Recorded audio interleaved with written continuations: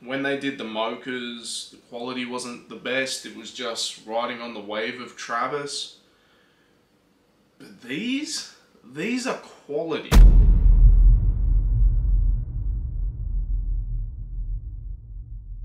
Hey, what up and welcome to another episode of Creased Heat. Well, on today's episode, I do the most ridiculous backflip of all time.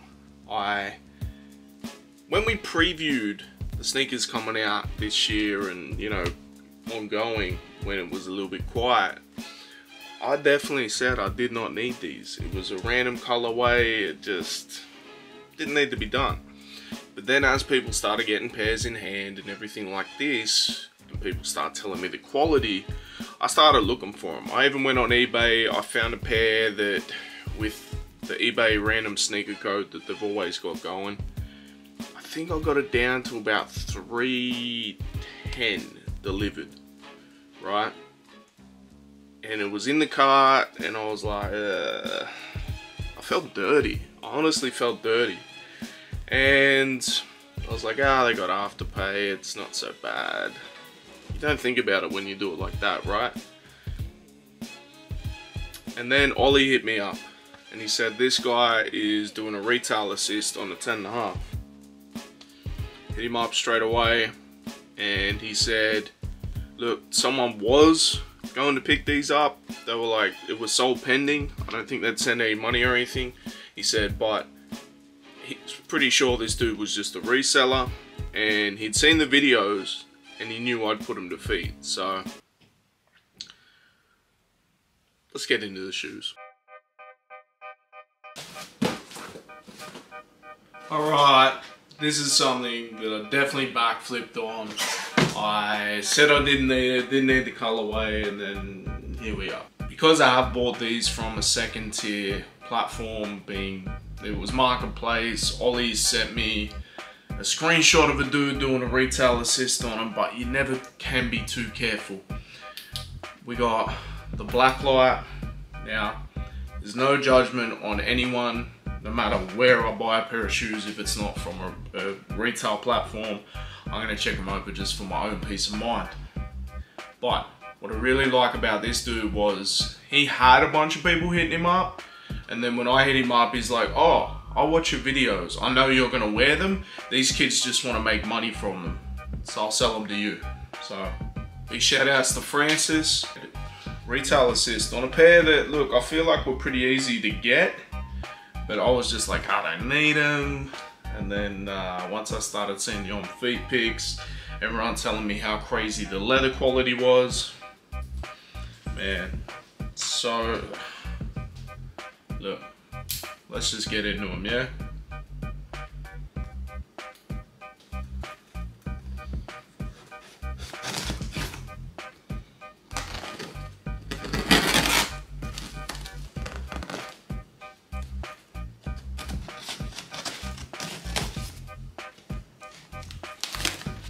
And he's almost gone as crazy as I go with the tape.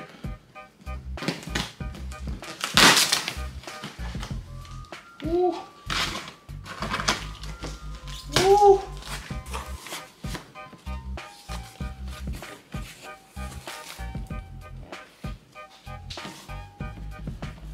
This gold though on the box. They do be calling me Midas, you know what I'm saying? Alright.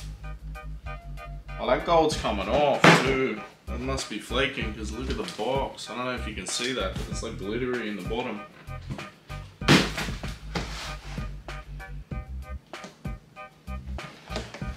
Now just from the box alone, I can say if these were fake, they're a really good fake.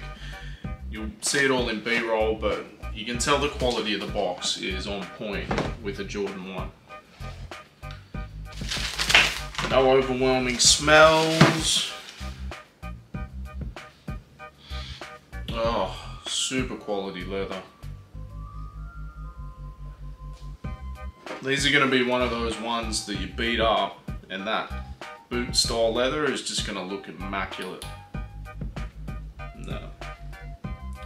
Now what we're looking for here is some guidelines for when the factory's uh, putting the shoe together they go along a black light type line and that's where they notice. So these obviously don't have it so we're all good. We just ended up with these are so nice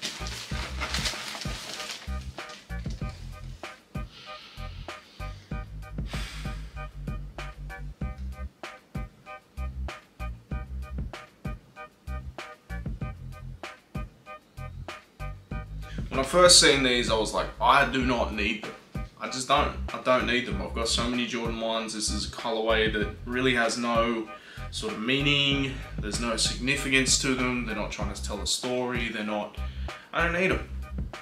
I did the biggest backflip of all time on these because my God, these are nice. Now don't get me wrong, can't really see me wearing these in summer, spring, whatever. But winter, come on. The main thing people been telling me is this brown leather. They're like, the quality of it is that of like a really nice boot leather. And I'm seeing that, man. Like,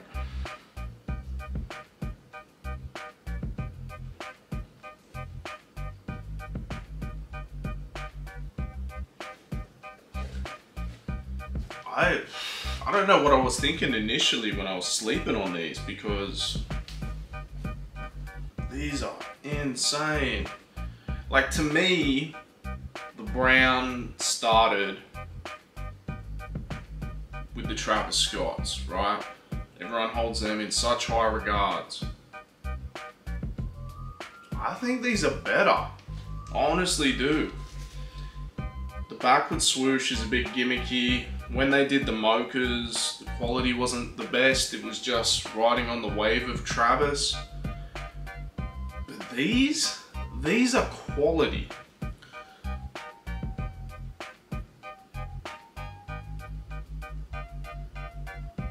These are insane. Like, they didn't drop in every store, but from what I understand, they're pretty readily available. Even me getting them here at, at a retail assist is like maybe two, three weeks removed from the actual drop. Just look at that leather. Man.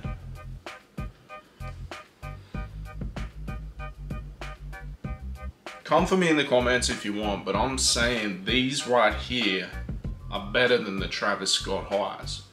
And I would I would put them, the original Mocha Travis Scott highs, as probably the best within Travis.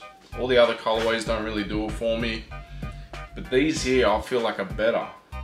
And even if it is resell, if you're unable to cop in store, if you're not able to get the retail assist like I got through Francis, I think that's on for about 300 250s retail. I came close to paying resale on these. I went on eBay, there was a bunch of people selling them for around about $300, $10 postage. Then there was some eBay sneakers discount code. I came very close. I had them in the cart multiple times. I was like, ah, it's over, but it's 300 and look, because it's eBay, I can just afterpay it, right? Thank you to Francis on these because such a beautiful pair. Like I said, I don't think it's much of a summer colorway, but when they're planning these types of things, they're more planning for America anyway. So if you're in America, winter, autumn, perfect shoe. Absolutely perfect shoe. But I don't even think I went in a raffle for these. I didn't, I was like, I don't need them. I don't need them. I don't need them. I don't need them. This is the biggest backflip I've done in a long time because I definitely needed them. Shout out to Francis, my guy. Anytime there's something that he wants to go for and maybe I'm not into, I'm happy to go in for him for retail assist after this and let's get some B-roll and wrap this up.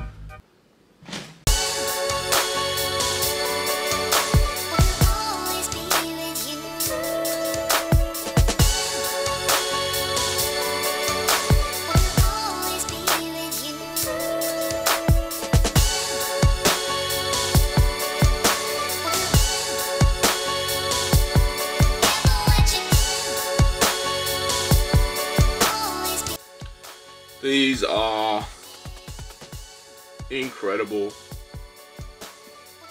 I'm so stoked with these. Shout outs again to the Fran to I say words. Shout out again to Francis hooking me up. Retail assist. It feels good man. Like I'm always doing the retail assist for people. I've done it many times to Adam. Um, and now to get one in return. And look, this was a pair that I said I didn't need. I feel like I remember seeing that being like shiny gold and it being the muted like mustard yellow so much better. I feel like the brown leather material it's just insane. Reminds you of like a good dress shoe or something like that. But I honestly feel like these are better than the Mochas, better than the Travis, come for me in the comments. That's how I feel. Maybe it's a recency bias, maybe it's because I got them in hand and I own them. I don't know. Let me know in the comments what you think about them. Don't forget, this weekend, Saturday in Auburn, it's more than just sneakers, kickstand event. I'll be there. I just only just paid attention. We definitely have a table. We're gonna be offloading a bunch of shoes. Um, make way for new stuff, man. Like, be some cool stuff that you might be looking for. There'll be some stuff that maybe you never thought about, and you know, you never know. All types of stuff. We didn't get the merch done in time. I was still playing with designs. I did like a hundred designs and just couldn't think of like one or two. And printing turnarounds, all that type of stuff. Maybe you want to sample to see it first before you go full size run. And yeah, it just didn't happen. But I will be having a bunch of sneakers. I think I've found like maybe 20 pairs. Some with boxes, some with not. Some worn, some DS. Then I've got a bunch of like random stuff. You remember back in the day the little handheld Street Fighter 2 machine? I got one of them. We'll sell that on the day. Wu-Tang PS1 game. Random stuff. Got some vintage like Ecko stuff. Jordan like clothing and stuff. It's gonna bring it all down. We're here to make money. And just declutter because I've got way too much shit just in general. So perfect opportunity. Uh, I believe doors open at 11. I'll be down there at like 9 setting up. So it's gonna be a big day for me we're going to my man Adam's gonna come. He's got some pairs too that he wants to move. He's got some more hype stuff so if that's more your thing there's gonna be a bit of that. Um, we're gonna be doing content as well. I haven't decided. I just brought like a like an action camera GoPro type thing. Um, maybe I'll put the chest strap on and just walk around and do it like a full thing as well as like the random stuff with this. I don't know play it by ear. I want to do a lot more content this time from it. Last time I got too distracted by the event and the basketball hoop, so we'll do that. And it should be fun, man. It's more than just sneakers. Sydney event. Even if you're not from Sydney, travel, bro. Like I live in Newcastle. It's a couple hours. I'm still coming down. Um, I went to the Melbourne one. I drove to the Melbourne one. It's a lot of fun definitely hope to see you there. Come say hi, say what up, chop it up, buy some sneakers. Don't come for the raffles. They usually have food trucks, everything like that. Shoot some basketballs. I think it's like 10 bucks entry, so it's cheap as. Good day. And you meet some like-minded people. Again, like I've said, if you're watching this right now, then you're into sneakers to the level where you're going to enjoy this event. Let me know in the comments what you're feeling about these. Make sure you like, share, subscribe. We'll be back twice a week. Peace. I said that last week and forgot to do an episode, the second episode, but you know that happens if you've been watching this long enough. This week there'll definitely be two. Follow on week with all the It's More Than Just Sneakers content. Will be three. You never know. Peace.